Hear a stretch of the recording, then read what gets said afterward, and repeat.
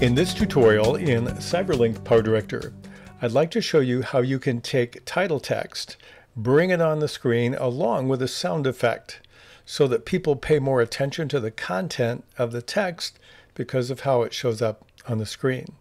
Please look at this following example and then we'll show you how to create something like this yourself.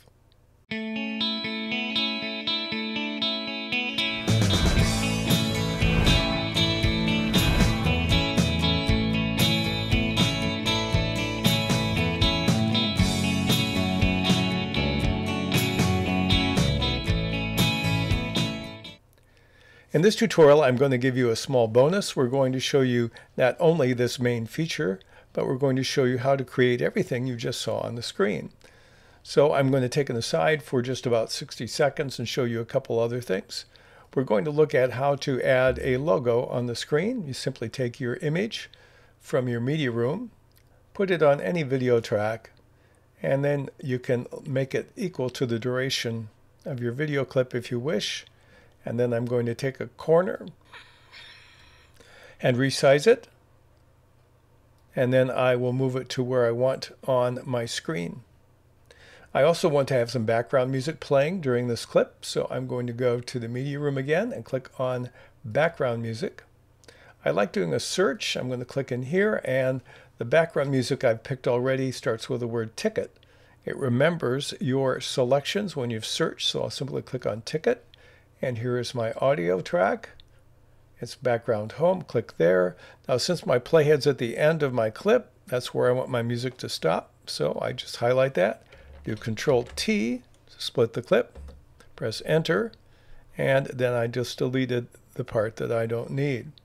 So I have the audio track and the logo. Now let's look on the titles. That's what we're focusing on in this tutorial. I want to put a background on the screen so that the titles appear on this rough hewn lumber. So I need the lumber. I'm going to go to my media room again. I'm on my media. I have a, an image I'm going to use. I'll take and drag it down. I'll start it at one frame in 15 seconds.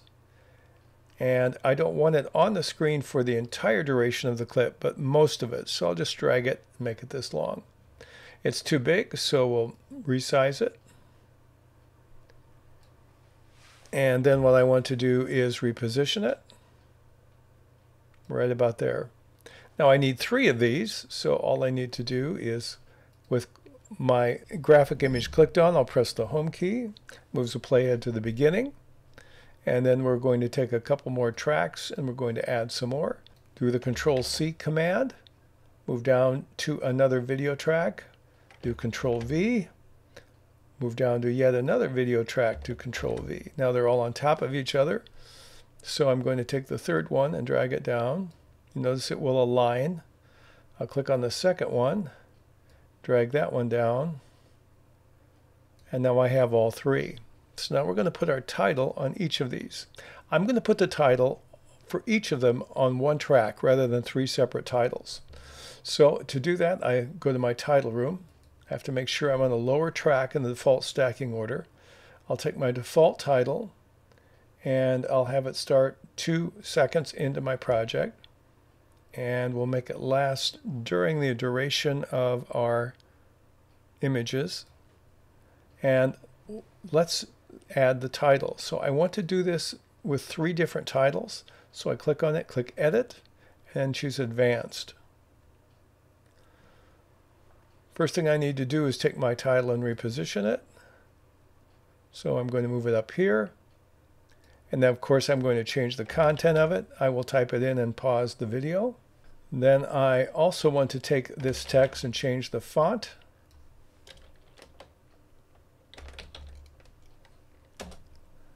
And let's change the font size. 20 is a little big for this purpose.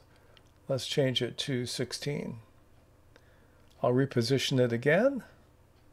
I'm going to add a shadow. I'll click on shadow. Let's change the distance down to maybe a 1.5. Press enter. That looks good. Now the nice thing about doing this is it remembers all these characteristics of this title. So if I want a second title, I click on the T in the upper left corner. above my previous screen. It will default to the center of the screen. I'll type in title number two and pause the video. Now I'm going to reposition my second title. We'll do it again for the third one. And now we have our three titles. Now we want to animate them. So what I'm going to do is give myself some more room in my title area here. And I want to add an animation. So I'll start with the first one. We'll click on the animation tab and click on the in animation. The animation I want to use in this particular case is called slide left. I happen to know it's down here on the right. I'll click on this and it will show it on the screen. It slid it in. Let's take the next one, highlight that, and I'll click on slide left again.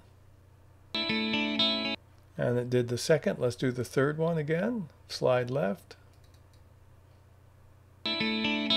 Okay, now we want them to come in separately. So the first thing I'm going to do is take my first title. Let's move it in a second. And let's take the second title and move it in two seconds. Uh, let's move it in three. And the third one, we're going to move in five. Now at each of these, with the playhead at the beginning, I want to right click and I want to add a timeline marker. You'll see why later. I don't have to name it. I'll click OK. And I'll do the same with this one. Right click and add a timeline marker. And we'll go back to the first one. Right click and add a timeline marker. Now the other thing I want to do is I want these to come in quickly. So I want the time from the beginning of the title to the full animation, which is this darker gray area, to be no longer than 10 frames. So I'm start at 1, I'll go to 110. I'll click on the second one, and we'll go to 310. And the third one, we're going to go to 510 and click on OK. Now if we play this segment, we're going to see the bars appear and then the titles.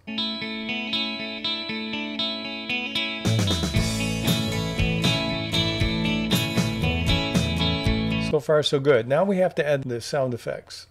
So I'm going to move back into my media room and I'm going to go to sound effects. The one I want is starts with the word whoosh and that is in my search. Again, it remembers your search criteria. I'll simply click on that and I want the transition whoosh. We'll take and we'll drag this down. Now I need to edit it. So with it highlighted, I'll click on edit and I'll choose trim. And so what I want to do is I want to trim this. We're going to tighten up here. I just want the big sound. And I'll do my mark in over here. And we'll go about this far out. And we'll do a mark out. So only the area in the blacker gray area is what I'm using. I'll click on trim. What that will do is it will move it. So I'm going to move it against the first timeline marker. That's my first swoosh. So what I want to do is copy it, move to another track and paste it with Control V. And now I'm going to move that to the second timeline marker. And what I'm going to do is take the on another track and do Control V as well. And we're going to take this and I'll make it bigger so it's easier to drag and put it at the beginning of the third timeline marker. And then when I play my project, it should come in, play and see what happens.